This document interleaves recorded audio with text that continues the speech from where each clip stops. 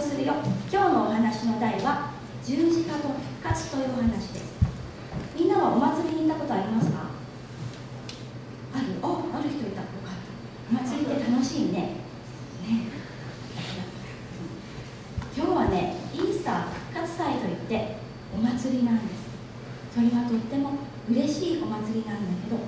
少し悲しいこともあります。今日はその2つを聞いてほしい。皆さんはイエス様って聞いたことありますか？あのね、はい、今日のお話にイエス様が出てくるから聞いてください。イエス様はいい人だったって悪い人だったっけ。いい人だったね。いい人だったけどうん、うん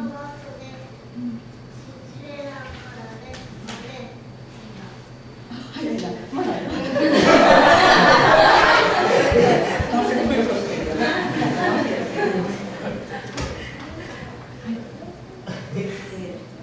そんな感じで。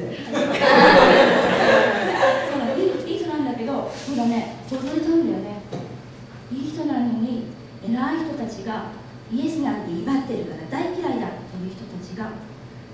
死刑と言って死ねないといけない恐ろしい刑をするんです。それはイエス様が悪かったからじゃない。イエス様を大嫌いな人たちがそうしたんです。さあ、イエス様はとってもとっても痛い死に方をされましたそれは十字架といってこんな十字の形のを打ちつけられたんですこっちも手足も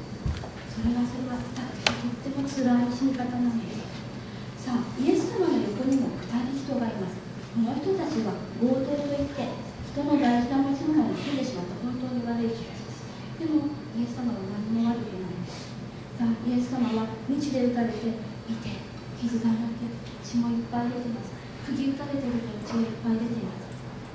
すさあ十字架の上でイエス様はこの人たち十字架につけた人たちに何て言ったと思うイエス様はねどうか私を十字架につけた人を許してくださいと神様にお願いします。この人たちは自分が何をしたか知らないんです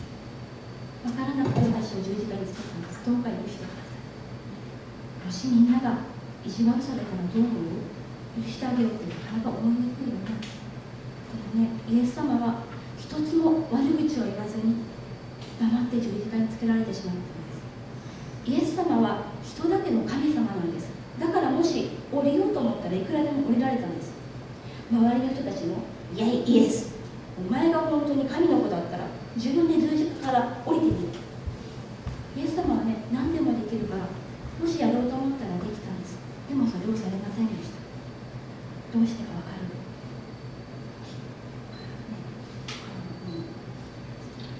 うんイエス様は殺されたんじゃありません。私たちみんなが持ってる悪い心のことを罪というけどその罪を自分一人で身代わりになられました。もし私たちがお母さんなんて大嫌いお風呂なんか入らない。それって悪いことじゃないって思うかもしれないけど神様の目から見たらそれは悪いことなんです。あの子なんか大嫌い意地悪したい。もし思ってもそれも悪いこと。そしてそう思わなくても何か悪いことされてあの子なんかいなくなればいいのに。と思うだけでそれは神様から見たら悪いことなんです。神様は子供も大人もみんなが持ってる悪い心のためにイエス様を身代わりとして十字架につけて死なれました。さあイエス様朝の9時から十字架につけられて午後の3時までおやつの時間までずっと十字架につけられています。そしてついに死んでしまわれました。さあイエス様は死んじゃったから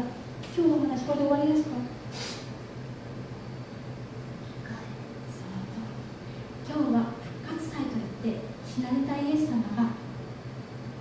うだねもう一回生き返るそのお祭りなんです今日は悲しいところで終わったけど来週イエス様がどんな風に復活されたかお話ししますだからもしよかったら来週も来てください。そして来週来れなくてもこの聖書のお話は年中ほぼ無休でやっていますのでどうかまた聞きに来てください。今日は本当にいい子に聞いてくれてどうもありがとう。さあいつもお別れの時は同じ言葉を言っています。今日はみんなにせっかくだから言ってもらいたいです。同じ時同じ場所 same time って言ったら同じ場所 same place と言います。一回だけ練習ね。せーの。same place